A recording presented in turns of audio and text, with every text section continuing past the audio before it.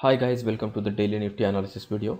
My name is Nrupen and this is daily chart of Nifty. Now on this you can see that today prices stayed above 8100.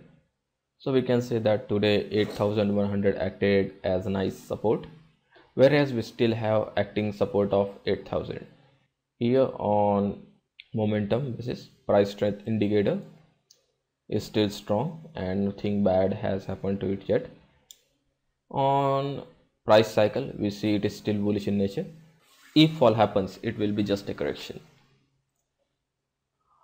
On hourly chart things are little difficult to analyze since we can't see any pattern nor we can draw trend line yet.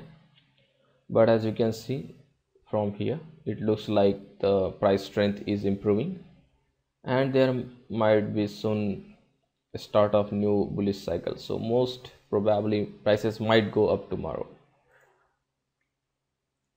On 15 minute chart it is clearly visible that 8100 acted as support and kept prices above it three times. It successfully defended its position at 8100 so practically we can say that 8100 is acting as strong support here also we can see that prices are falling down here.